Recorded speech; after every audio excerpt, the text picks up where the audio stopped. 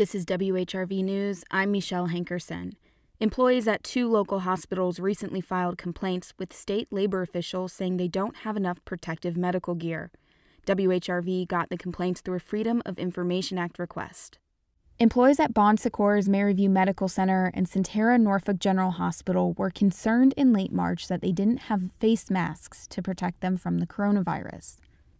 Virginia's Department of Labor and Industry only releases closed complaints, meaning officials judged the issue was addressed. It doesn't release information about the person who makes the complaint. Both Bon Secours and Sentara are among WHRO Public Media's corporate supporters. A Bon Secours spokesperson says the hospital system adjusts practices to match what the Centers for Disease Control and Prevention recommend.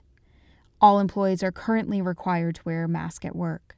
Dale Gauding is a spokesperson for Sentara, he says, like other hospital systems, they are facing an unprecedented challenge. Sentara Healthcare has adopted a strategy to distribute N95s, surgical masks, and other types of masks based on potential for exposures. He says Sentara is working on establishing new supply chains to get protective gear. Bon Secours and Sentara both accept donated masks. Michelle Hankerson, WHRV News. See the full list of complaints at WHRO.org.